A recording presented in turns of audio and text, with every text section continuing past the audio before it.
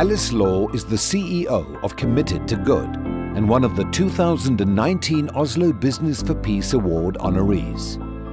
Committed to Good provides support and opportunities to those who need it most, enabling development and relief programs in fragile and conflict-affected countries. Their work is as diverse as our world's issues.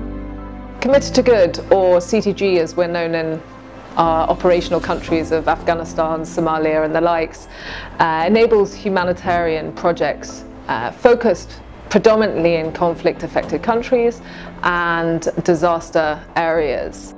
We have run Ebola treatment clinics in Liberia, we do food distribution in South Sudan, we monitor the use of construction materials in Gaza and a number of other projects in conflict settings.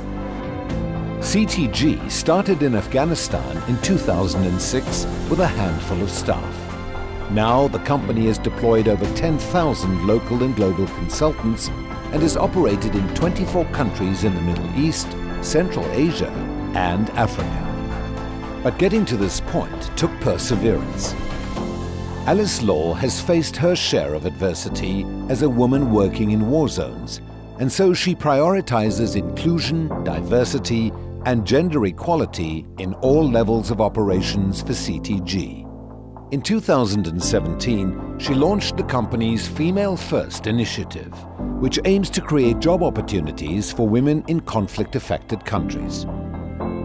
I'm in a very unique position actually where I actually get to see on the ground some of these horrific things that uh, women have to face that they shouldn't have to face and if I can do my bit and CTG can play its part to make a difference to women working in these areas, in, in these countries and to provide them with a job that they could go to every day so they can earn money and they can make a change.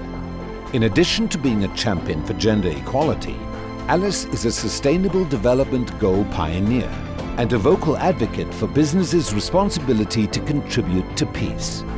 She believes in the positive impact that businesses can have on communities in need.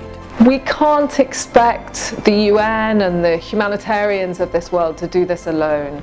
Businesses have a role to play and we have a really important role to play.